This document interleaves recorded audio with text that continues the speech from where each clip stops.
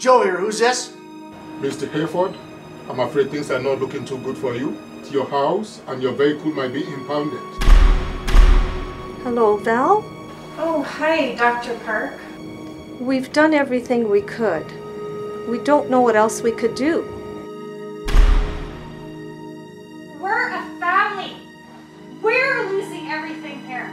The state prosecutor is pursuing me to take my car and liquidate my business and take her home. Our son is dying. It's like a load strapped to your back. You need help. What you need is God. I need God.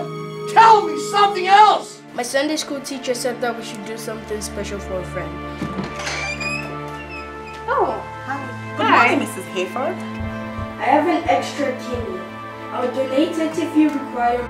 Thank you. Um,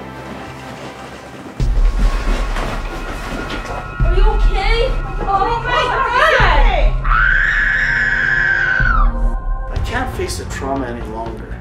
I don't see no way out. Suicide seems to be the only viable option. We must fast and pray.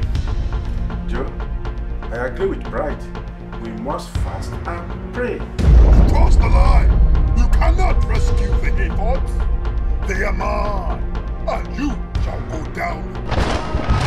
I, I am the consuming fire. I will heal you. God.